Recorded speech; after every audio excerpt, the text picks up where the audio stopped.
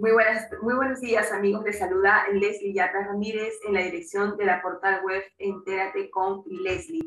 En el marco del derecho internacional de los derechos humanos, Entérate con Leslie viene llevando a cabo una edición especial en este día con un panel de distinguidos invitados internacionales con quienes vamos a establecer una suerte de reflexiones acerca de la problemática en la atención y en la protección, liderazgos en el mundo en pro y defensa de los derechos humanos.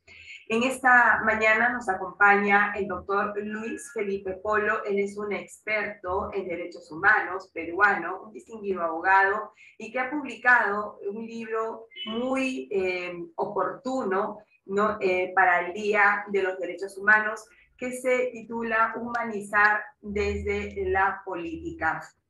Entonces vamos a conversar con Luis Felipe Polo eh, lo que es este libro de su autoría, eh, muy necesario en cuanto a reflexiones por el Día Internacional de los Derechos Humanos. Humanizar la política desde la política. Regresamos en breve con Luis Felipe Polo.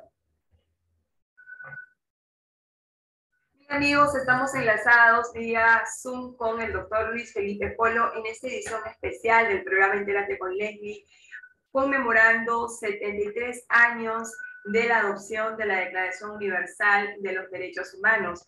Y con Luis Felipe Polo vamos a intercambiar reflexiones de lo que ha sido un libro muy importante ya publicado, pero que hoy se presenta justamente en la conmemoración del Derecho Internacional de los Derechos Humanos. Humanizar la política desde la política. Muy buenos días, Luis Felipe. Muchísimas gracias por estar con nosotros. Querida Leslie, al, contrario, las gracias a ti y a toda la excelente audiencia que tienes cada día más y más. Eh, y efectivamente, hoy celebrando eh, o conmemorando un día más de los derechos humanos, pues es propicio para presentar estos temas que necesitamos como sociedad para poder mejorar. Dentro de los principales, eh, digamos, abordajes que haces en, esta en este libro, Humanizar la política desde la política, hablas de la frustración que tienen los pueblos en el mundo respecto a los liderazgos de sus gobernantes también en el liderazgo desde la comunidad internacional, propiamente de las organizaciones internacionales, que no tienen capacidad de respuesta eficiente, rápida y oportuna para solucionar las controversias. También nos hablas de un cambio de actitud por parte de los gobernantes y también de las propias organizaciones para poder, eh, digamos, eh, tener una renovada visión de ese liderazgo y eso calza mucho con el tema de derechos humanos. La primera pregunta que lanzo en este día especial para ti es, ¿cómo humanizamos la política desde la política? Pues mira, has tocado un tema fundamental que es la confianza que tienen las sociedades en los gobiernos. En una última encuesta que salió justamente para el año 2020, eh, no voy a hablar del resto del mundo, sino voy a hablar de América Latina y el Caribe, el promedio en América Latina de confianza de los gobiernos es solamente el 40% de la población. Y los dos únicos países eh, en América Latina y el Caribe que tienen confianza en sus gobiernos es Costa Rica y Paraguay, seguido por República Dominicana. El resto está bajísimo. Los países OCDE, por ejemplo, tienen un promedio casi del 56%, 57% de confianza en sus gobiernos. ¿Y quiénes están en la cola en América Latina de confianza en los gobiernos? Está Brasil, Perú, Panamá, Argentina, Trinidad y Tobago, México, Jamaica, más o menos en ese orden. O sea, Perú está penúltimo lugar en confianza de los gobiernos. ¿Esto qué significa? Eh, eh, significa que si bien es cierto, los políticos pueden presentar en sus campañas los mejores discursos que uno puede escuchar, y creo que todos hemos sido testigos de las campañas que se vienen dando en América Latina, porque todos los años hay elecciones presidenciales. Lamentablemente, eh, la palabra, la demagogia, el populismo, dice mucho más que las acciones en su momento de llegar a los gobiernos. Y la forma de humanizar a la política es desde la política. ¿Por qué? Porque si nosotros hacemos una diferencia entre la política y los políticos, vamos a encontrar que la política es el único medio para poder cambiar las estructuras sociales. No hay otra forma de hacerlo. Y obviamente a través de la política, los sistemas de gobierno como la democracia, que dicho sea de paso, también en una reciente encuesta se nota que muchos de nuestros países no están muy conformes con los sistemas democráticos. Por ejemplo, los eh, países que están peor en, confianza en la democracia, está Haití, Honduras, eh, Guatemala, también República Dominicana, etc. Entonces, si nosotros analizamos todos estos eh, factores, vemos que el problema no es la política, sino son los políticos. ¿En qué sentido?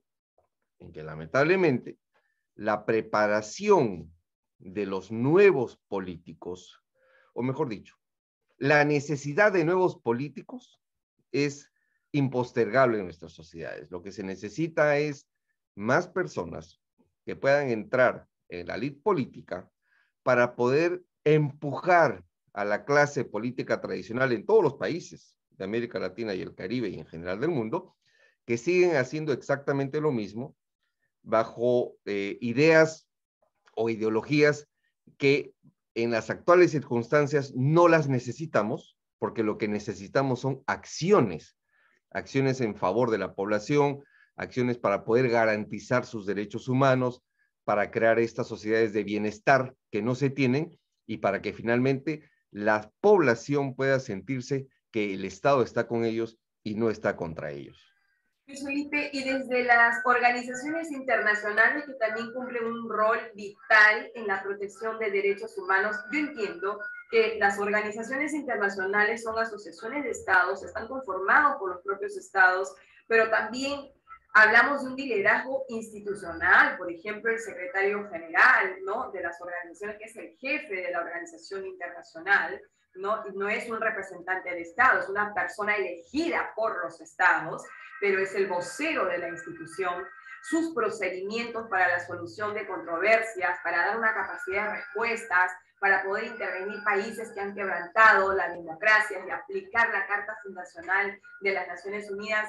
Realmente yo siento en lo personal que esto es letra muerta, que esto realmente no tiene efectividad, ¿no? Entonces, Recuerdo que en septiembre eh, la en la Asamblea General de las Naciones Unidas los propios estados eh, hicieron una catarsis ¿no? emocional, ¿no? en el sentido de eh, reflejar sus frustraciones como estados.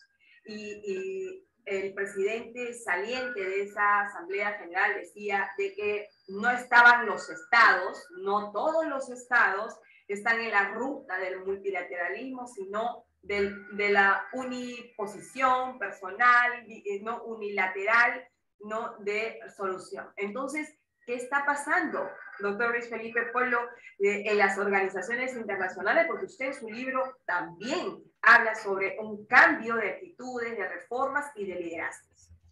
Coincido totalmente contigo con tu percepción. Eh, recordemos que la comunidad internacional, las organizaciones internacionales están lideradas por políticos.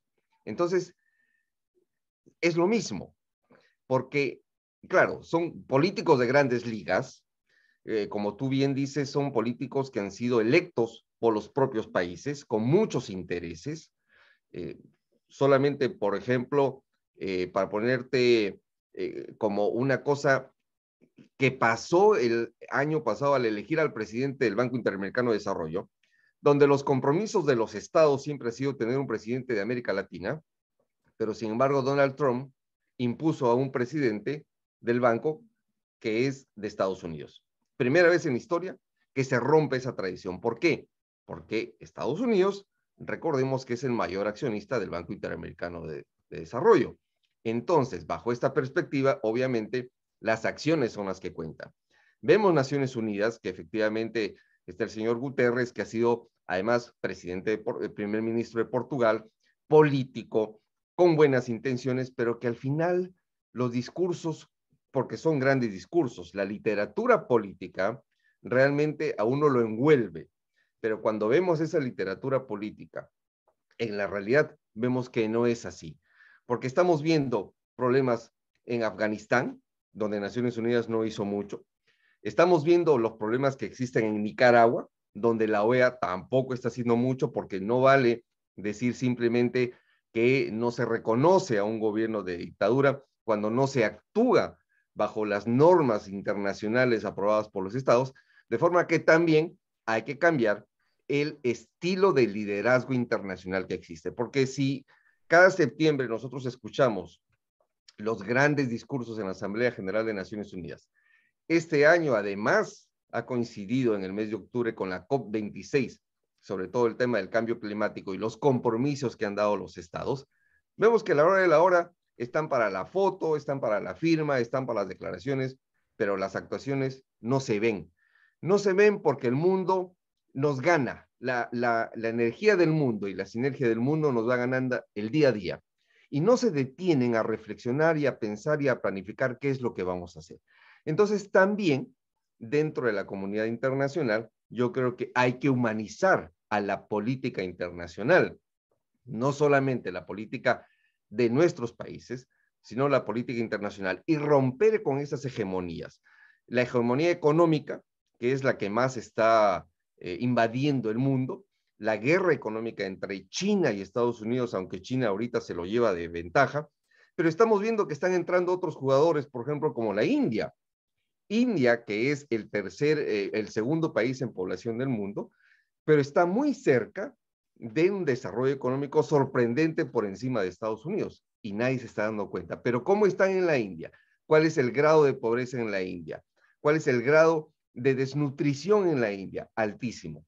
Pero en términos macroeconómicos se presenta de diferente manera. Entonces yo creo que sí es importante que la humanización de la política desde la política sea con efectos reales y no solamente con efectos discursivos, retóricos y demostrar macroeconómicamente que los países están bien cuando levantamos la alfombra de los países y vemos que realmente muchos de nuestros países están en una desgracia y en una debacle total. Yo le preguntaba sobre el tema, Luis Felipe, del liderazgo en las organizaciones internacionales porque también es importante que cuando un secretario general de una organización internacional visita un país, estas visitas no tienen que pasar desapercibidas. Hace unos días hemos tenido la visita del secretario general de la OEA en el Perú y le soy muy honesta, esa visita a lo mucho quedó en una nota de prensa, pero no fue más allá. O sea, no, no, no, fue, no se dio esa conexión de su presencia con la ciudadanía del Perú, con el gobierno. Eh, eh, fue también cuestionado en redes sociales si es que esto obedecía eh, intempestivamente a una visita oficial fabricada de la noche a la mañana o es que esto ya estaba programada. Es decir, no debería la visita de un secretario general de una organización internacional, de la OEA, por ejemplo, Naciones Unidas, tener este tipo de críticas, ¿no? Tener esta percepción eh, de, de sectores de prensa, de sectores de juristas, de especialistas, y más bien hacer que, dicen, bueno, llega a la visita del secretario general, ¿no? De una organización internacional a un país para la firma de un convenio, pero también aprovecha su visita para tener esa conexión, porque ese es su liderazgo, ¿no? Entonces, sin embargo, pasó desapercibida y muy lamentable, porque se prestó prácticamente a una visita para favorecer ¿no? o, dejar enunciados de protección a, una, a un gobierno que está siendo cuestionado por su propia ciudadanía. Entonces, eso es el, eso, ese es el rol que cumple el secretario general, ese es, el rol que cumplen las organizaciones internacionales. Acá, acá, justamente hay una gran confusión, porque si nosotros tomamos como ejemplo también la visita que ha hecho el secretario general de Naciones Unidas la semana pasada a Colombia. A Colombia, exacto. Eh, justamente por el tema de la paz. Es un poco mi percepción, mi lectura, es que muchas de estas visitas es para lavar la cara a sus autoridades en Colombia estamos viendo que el gobierno del presidente Luque de quien considero una persona muy trabajadora, yo he trabajado con, eh, con él en el Banco Interamericano de Desarrollo, pero sin embargo su popularidad está en el 30%. Y de los últimos gobiernos de Colombia, posiblemente sea el presidente que está terminando con una popularidad baja y va a haber un cambio de gobierno porque el candidato Petro de izquierda es el que está llevando las encuestas. E, entonces, la, visita sí, claro, a diferencia del secretario general de la OEA, el secretario general de Naciones Unidas sí se ha reunido con víctimas del conflicto, se ha reunido con organizaciones sociales, o sea, sí ha cumplido una agenda porque además la visita estaba programada. Pero ¿qué pasa con el secretario general de la OEA? Increíblemente, el día de las elecciones en Nicaragua, el mismo día de las elecciones de Nicaragua, donde todos los que amamos la democracia estamos cuestionando el sistema que existe en Nicaragua, el secretario general publica una foto de él recibiendo las credenciales del representante de Nicaragua, del gobierno de Nicaragua, dictadura, ante la OEA. ¿Qué significa? Está dando el aval a ese gobierno porque no puede ser, no sé si fue un descuido de comunicación, no fue, no sé si fue a propósito, todavía mi lectura no ha llegado a ver qué, qué es lo que ha pasado, pero no puede ser que un día de las elecciones donde todo el mundo esté cuestionando una elección, se publique una foto de estas. Entonces, claro, existe también lo contrario, así como llegó el secretario general de la OEA a, a Perú para un poco lavar la cara al sistema, también existen los presidentes que van a Estados Unidos y tratan de lavarse la cara con las instituciones internacionales. Ejemplo de esto es el actual presidente de Guatemala, que el gobierno de Estados Unidos ha quitado la visa al fiscal general de la nación, ha quitado la visa a muchos de los políticos. No ha sido invitado el gobierno de Guatemala a la reunión que en estos momentos se está llevando a cabo desde Estados Unidos con el presidente Biden y que ha invitado a 150 países del mundo y a unos seis o siete no los ha invitado, entre ellos Guatemala, El Salvador, Honduras, por ejemplo. Entonces el presidente ha viajado, se ha, dado un discurso en la OEA, ha dado un discurso en las eh, organizaciones eh, sociales, ha tenido reuniones con senadores para tratar de lavarse la cara. Entonces, yo creo que lo que antes era, eh, mi querida Leslie, las organizaciones internacionales, ese peso político, pero ese peso de cara también a las realidades internacionales se ha perdido o se está perdiendo. Yo creo que ahora las organizaciones internacionales se han vuelto demasiado politizadas y no están cumpliendo realmente su misión que deberían de cumplir, que es por la que nacieron. ¿Qué organizaciones defienden la democracia? ¿Qué organizaciones defienden la vida en discurso? Sí, pero llegar a lugares o declarar o mandar eh, mensajes apoyando sistemas que están totalmente violando los derechos humanos, sí deja mucho que desear y pone en tela de juicio además la existencia de las propias organizaciones. ¿Y cómo se explica que, por ejemplo, Cuba tenga un asiento en el Consejo de Derechos Humanos, Venezuela, a quien se le ha criticado tanto y que está en asentado en el Consejo de Derechos Humanos y curiosamente, fatídicamente, evaluando a otros países en materia de derechos humanos. O sea, esto es algo que no se puede, es esta lógica incomprensible. ¿no? que no se puede admitir dentro de una organización internacional. Vamos, yo sé que son los estados quienes adoptan decisiones, pero también donde está la palabra ¿no? De, de, del jefe de esa organización, del secretario general, de sus funcionarios,